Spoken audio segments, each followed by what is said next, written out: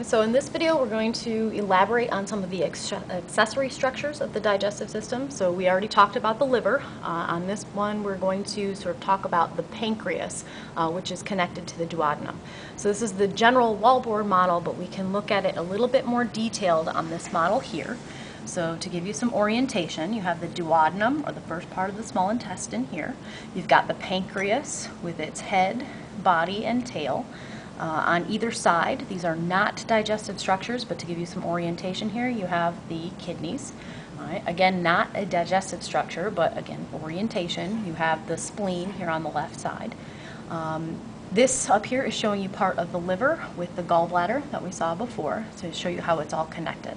You can also see uh, this purple vessel right here. Um, this is the hepatic portal vein. So remember from the video, we talked about the liver uh, we have the hepatic portal vein, which takes all of the uh, mesenteric veins and merges them together to bring that blood supply up to the liver so the liver can filter that blood out. Now, uh, the other thing that is important to notice here is that the pancreas has this pancreatic duct. And this duct, this is the main duct, and it comes down this way. We also can see an accessory duct right here.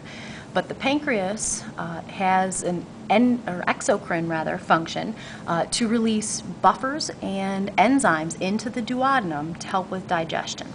And you can see here that the pancreatic duct merges with the common bile duct, uh, and, and, those merge at a spot called the ampulla, which is behind here, uh, and those come out into the duodenum through what's called the duodenal papilla or the hepatopancreatic papilla.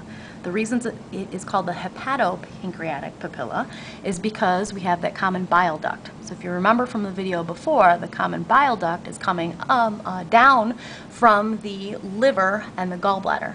So here's that gallbladder, here's the cystic duct.